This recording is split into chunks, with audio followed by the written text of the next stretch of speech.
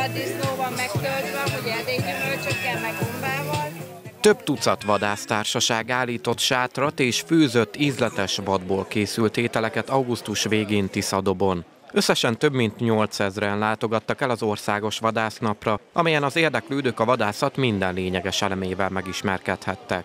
Az eseményt 1997-es fennállása óta először rendezte meg a Vadászkamara szabolcs már Bereg vármegyei szervezete, amely a visszajelzések alapján a festői környezet és a színes programok miatt is emlékezetesre sikerült. Mióta megvan a vadászkamara, mindig más megye rendezi az országos vadásznapot, Szabolcs megye most érezte magába az erőt ahhoz, hogy vállaljuk ezt.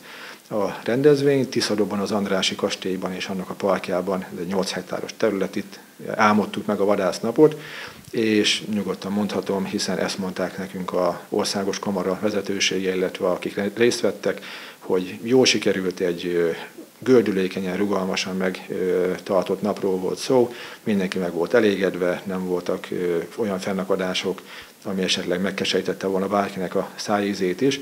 Több mint 8000 látogató nézte meg aznap a kastélyt, illetve a környékét, hiszen erre a napra megkaptuk a kastélyt is, kinyitott a kapuit, holott ugye még mai nappal is zárva van, hiszen felújítás tart a kastélyba, de mi arra napra megkaptuk. Az országos vadásznapot pedig egy egynapos konferencia előzte meg, ami szintén tertházas volt, egy száz férőhelyünk volt, nagyjából meg is volt ez a száz ember.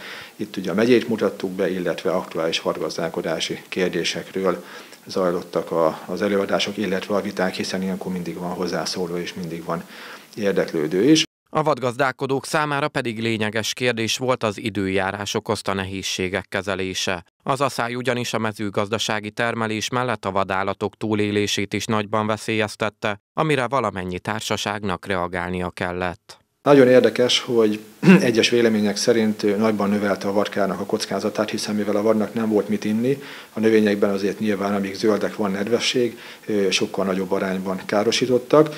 Sajnos nekünk itt a megyében olyan sok károsítani való nem volt, hiszen azért nem nagyon büszkélkedhettek a gazdák a kiváló terméssel. Ennek ellenére, és egész évben ugye folyamatosan azt hallottuk, hogy nagyon-nagyon félnek a valugazdáink, hogy mi lesz itt, nem lesznek kiemelkedő eredmények, még közepes eredmények se lesznek ugye itt a szarvasból és őszből. Nyugodt szívvel mondhatom, hogy a tapasztalat ezt megcáfolta, ugyanis ő szarvasból is, gimből is, dámból is nagyon-nagyon szép eredmények születtek, nagyon szép trófeákat láthattunk trófeamustrákon, illetve a bírálatokon.